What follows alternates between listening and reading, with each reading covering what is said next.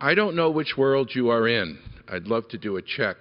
Are you in a world that has any urgency, any belief that we will spend 18% of our GDP on health care 10 years from now, or 30%? Don't know which world you believe in. Most of my colleagues act as if they believe it's the 30% world, but talk about rhetoric for the 18% world.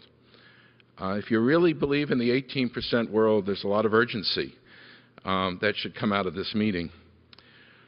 Another story.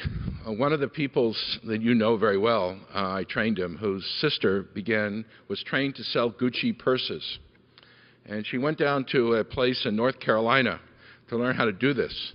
And one week later, 50% of the people that went down there flunked out because what they had to do is look a woman straight in the eyes and say, This purse costs $20,000 and it's a good buy. And they couldn't smile or, you know, laugh or clown. They had to be taught to do that. And half of them flunked. I have a daughter who's a resident.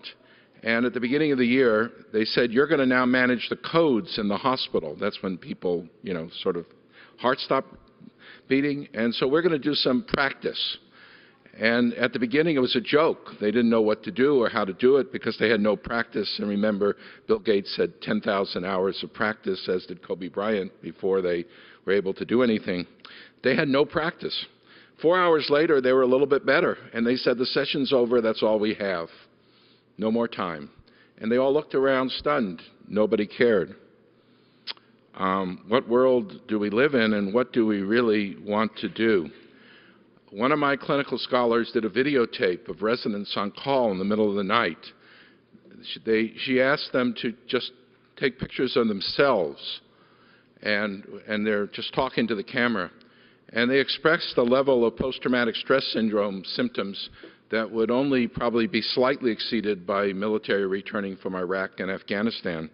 She showed this to a professor of medicine leadership group, and the response over half of them was that those people, many of whom were women in the, field, in the video, should be removed from medicine because they clearly were wimps.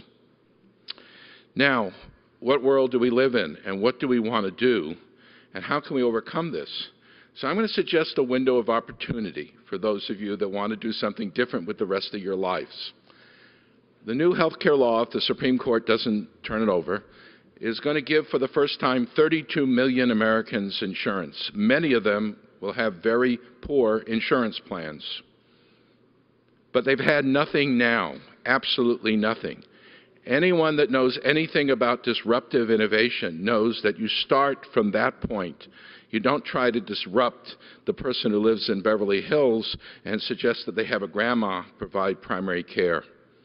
You start from that group.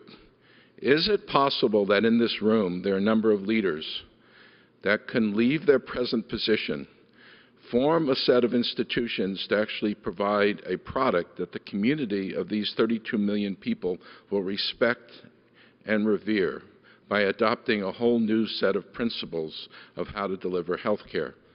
The new Health Care Affordability Act has made that possible. It might be something worth considering can we actually change the institutions we're currently in, or do we have to leave the ones we're currently in and go where the opportunity is for disruptive change? Wonderful. It was a great day. I learned a lot from the speakers, and um, I hope that you really do turn your amazing talents into actually doing something very, very different with American healthcare.